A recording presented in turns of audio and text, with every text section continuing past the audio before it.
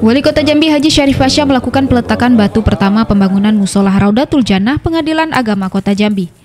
Kegiatan yang dilaksanakan pada Jumat pagi tersebut dihadiri oleh Wakil Gubernur Jambi Fahrori Umar, Ketua PTA Provinsi Jambi, Ketua Pengadilan Agama Jambi, Ketua Pengadilan Agama Kabupaten dan Kota Seprovinsi Jambi, dan para tamu undangan lainnya.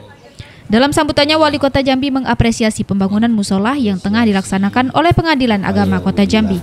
Yang dilaksanakan dan diinisiasi oleh Pengadilan Negeri Agama Kota Jambi, yaitu membangun tempat ibadah yang layak, yaitu adalah musola yang mungkin selama ini. Tak hanya itu, Wali Kota Jambi juga memberikan bantuan secara pribadi untuk pembangunan musola Raudatul Jannah di Pengadilan Agama Kota Jambi.